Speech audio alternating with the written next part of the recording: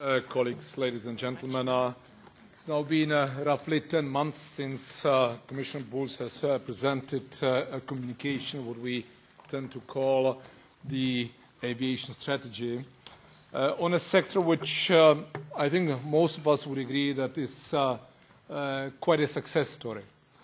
Now, my approach, uh, uh, but I believe that uh, to some extent also uh, in line with uh, what uh, uh, is the perception of uh, the shadow rapporteurs, and hereby I would like also to underline that we have already been in contact with colleagues. I have expressed uh, my perception, my philosophy. I received comments, and I think that they will find that uh, many of that has been uh, reflected already. I would like to underline that we have probably agreed in this circle of uh, the shadows uh, that uh, we do not want to be repetitive with the Commission's uh, uh communication.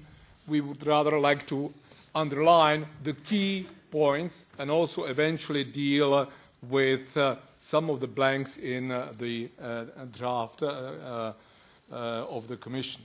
Now, I would like to say that there are several key points as I see them in, in the report. Uh, uh, first of all, uh, we have to bear in mind that aviation is, of course, a sector in which we confront numerous challenges.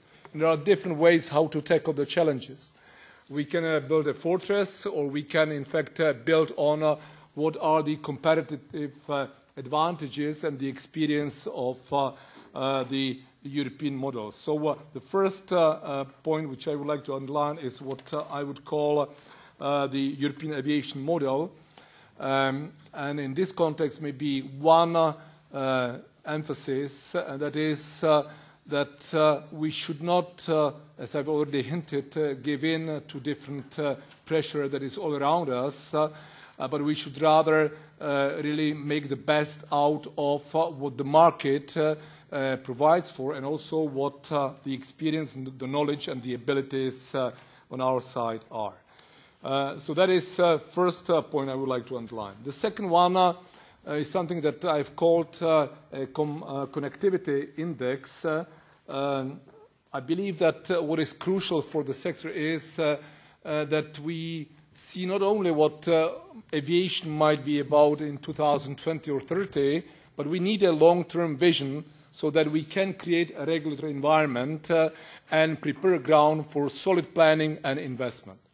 And I believe that uh, uh, the connectivity index, and for me connectivity really is the key issue in the whole report. Uh, that is something that should uh, unleash uh, the potential that we have in the sector. So connectivity is not just about time, frequency, intensity, but of course it has to be very well uh, matched with uh, uh, the opportunities, with the environmental aspects, with congestions, and of course many other issues. So while the EU is definitely the oldest and the most reliable market for aviation, uh, our industry needs, uh, I would say, uh, competition, and competition will uh, surely lead also uh, uh, to new opportunities and better connectivity.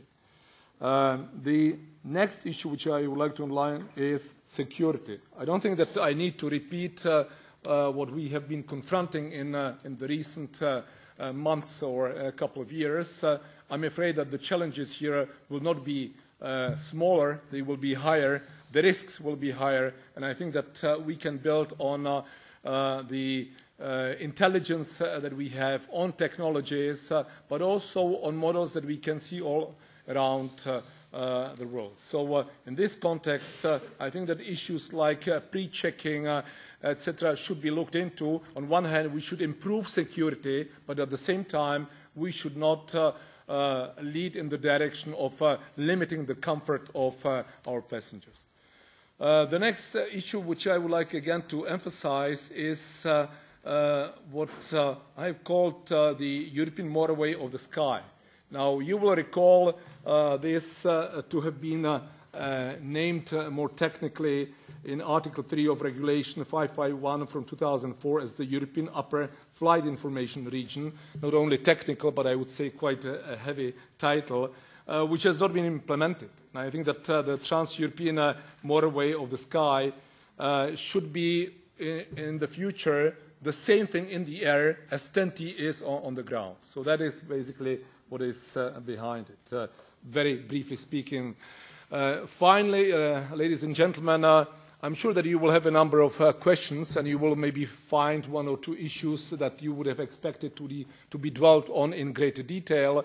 But I can already tell you now that I'm preparing a couple of amendments of, of my own. Uh, for example, I would like to uh, have a greater focus on aviation agreements and also the, the Parliament's role that is going to play in, in this respect.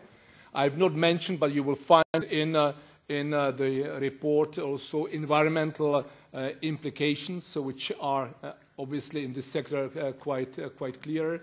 And uh, uh, I think that we will have fresh experience uh, with uh, the conclusions uh, from ICAO, so this is another element that I will further dwell on.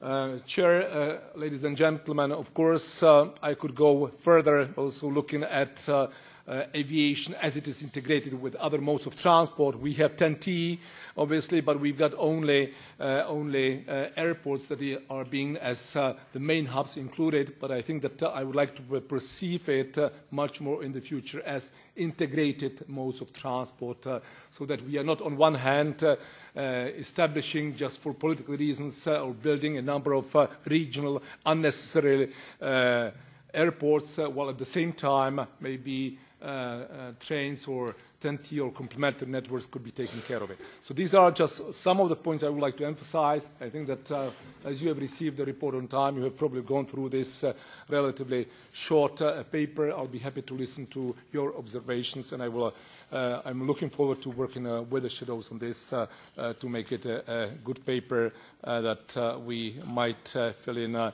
also in the future deliberations and proposals of the Commission. Thank you.